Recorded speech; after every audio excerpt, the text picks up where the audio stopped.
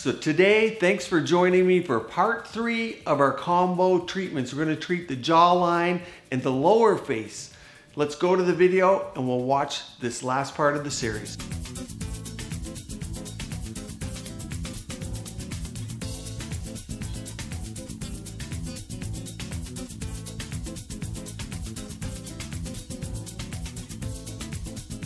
Posterior to here, there's some a little bit of what we call bone loss or a little step off. We can fill that to pull back, help prevent the downturn of the mouth. You can see the mesomental fold and I draw a line down so I know where I don't want filler. And I don't really want filler between these points, maybe starting right back here we'll fill anterior, posterior, and sometimes we fill preauricular. Here we're using Restylane Define, cleansing the, the entry point again where I'm going. But I'm going to come in here with the cannula. I'm going to make my opening knowing the facial artery is right in front of the masseter. Bite down and relax. So my facial artery is right here. It's in front of the masseter. Of course, there may be variability, but I'm not going that deep with my pilot. Here's my pilot opening. This is going to be a 27 or sorry 22 gauge cannula.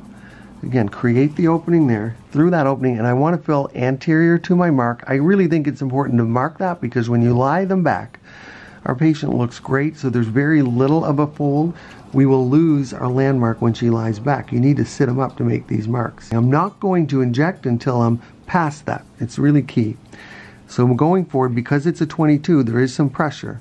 And now, just along that jawline, this Restylane Define, the nice part is it creates definition. It doesn't draw water in. It's flexible. I can get a really sharp point on the jawline. And it's an area patients like. They can see this in the mirror much more so than they can see the posterior jaw. So um, they do like the look of it. And then I don't need a lot of product. She looks great. She's got a great jawline, very little fat along the jawline. If she did, we would add a bit of Kybella and again we can cleanse mold that a little bit and pressure is the most important thing. I'm going to make the opening here. You can hold a little pressure there thank you. Stretch that opening. And then what I do I'll use this area as my point to hold pressure. I'm going to tilt your head.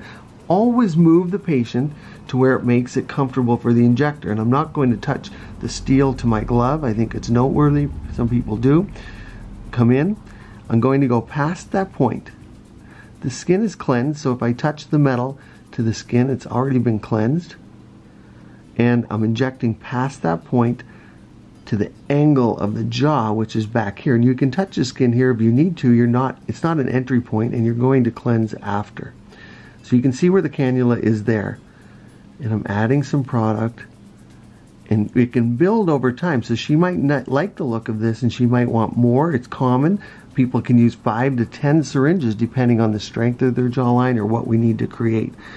So I'm going to come and fill that angle right up to that edge. I want a little filler here. So what I'm doing is redirecting.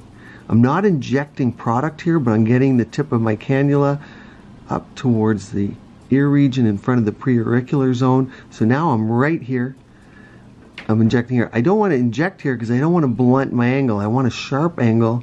I can always mold it and make it a little more dull if I need to.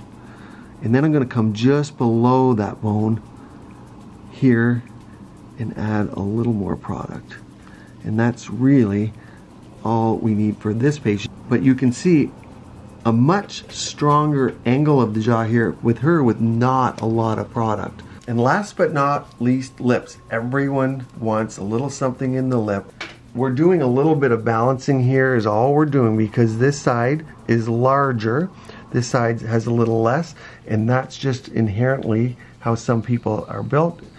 Uh, everyone's a little asymmetric, but we can help fix that. So we're going to come in here, a little poke, just anterior to the wet dry in this case and I'm just going to inject really retrograde. This is Restylane Define we're using, and it's a flexible product. It's a nice go-to product for the lips. It has structure and support. I'm going to fill a little extra, and then I'm going to do a little in the other upper to balance it. But we know we need more in this side. However, it's very normal to have one side that's different from the other. So poke here, anterior to wet dry. And I'm going to put it, in this case, just where I want it to be. And then retrograde injections.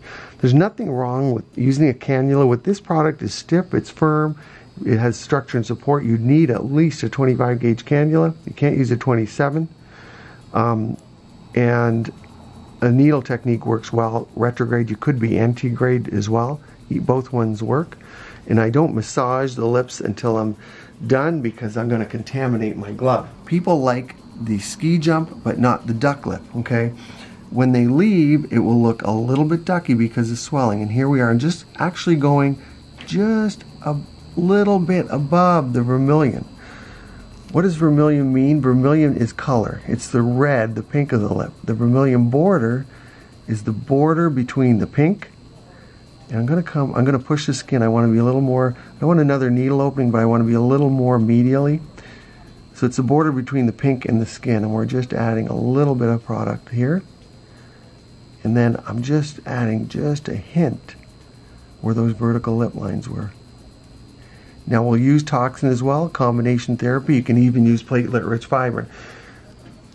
That's a what people would say subtle result, um, but most people want a natural result, not necessarily subtle.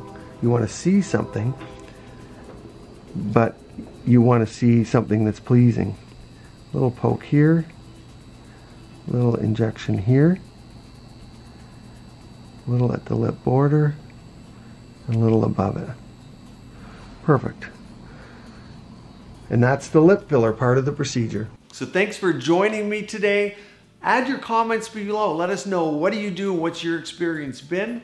Subscribe to this channel. Also join us on Instagram and Facebook for continued helpful tips. Keep your skin and body beautiful, healthy, and vibrant.